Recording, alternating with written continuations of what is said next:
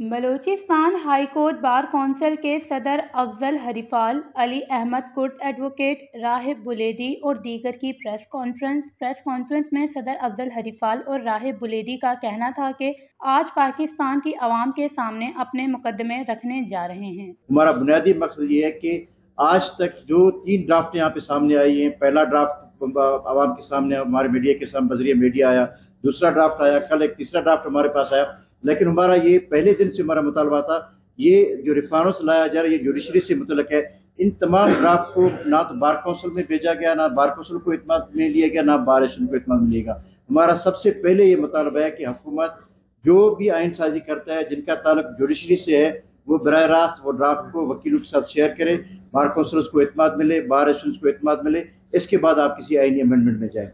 और दूसरी बात, अली अहमद साहब ने कहा कि जब काजी फाइज ऐसा जब मुल्क का चीफ जस्टिस ऑफ़ पाकिस्तान बनाया जा रहा था तो 80 डे पहले, अठासी दिन कबल उसका नोटिफिकेशन हुआ था बतौर चीफ जस्टिस।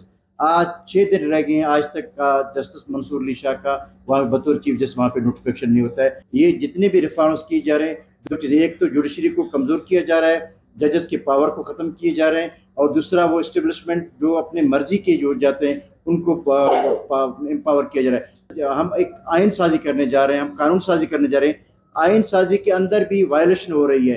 आयन साजी के अंदर भी अरकान पार्लियामेंट को उठाया जा रहा है। और और जो हुकूमत के अरकान है अगर वो भी इख्तलाफ रखे हैं, वो भी किसी जगह पे मैसूर हैं।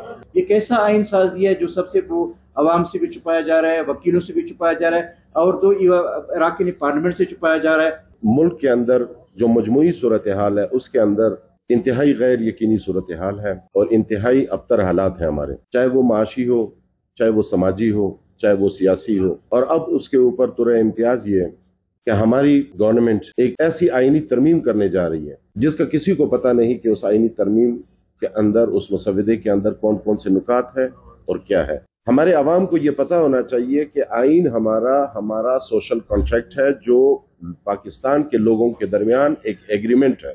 ये आवाम का सोशल कंट्रैक्ट है, आवाम को इसका पता होना चाहिए कि मेरे एग्रीमेंट के अंदर क्या चेंजेस की जा रही है। इतनी बड़ी गलती मेरे ख्याल में आज तक पाकिस्तान में नहीं हुई और आप लोगों को इस चीज़ पे मजबूर ना करें कि फिर लोग ये चीज़ सोचने पे मजबूर हो जाएँ कि हमारे लिए इस जमहूरियत से अमरीत बेहतर एडवोकेट अली अहमद कुर्द का कहना था कि कोई भी जस्टिस मंसूर अली शाह को चीफ जस्टिस बनने से नहीं रोक सकता। हुकूमत जुल्म और जबर के ज़रिए आईनी तरमीम पास कर रही है।